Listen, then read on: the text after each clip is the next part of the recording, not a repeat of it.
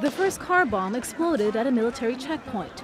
Soldiers and civilians among the dead. Moments later, a second explosion, also a car bomb. Bodies were scattered on the street, just a few hundred meters from the Somali presidential residence in Mogadishu. I was at the scene of the attack. At first, I saw a vehicle driving back and forth. Then we tried to stop people walking here and there, and then within the blink of an eye, the vehicle exploded, causing havoc.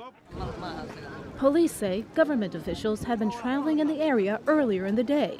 Now the road is covered with charred cars and debris.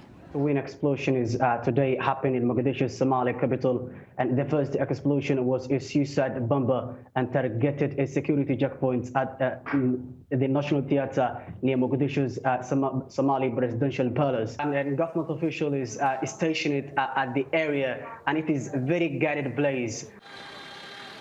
Mogadishu is often targeted by the Al Qaeda linked group Al Shabaab.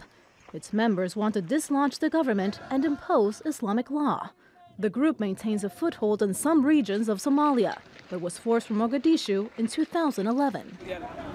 Thousands of Somalis have died in this divisive decade long battle, many of them civilians.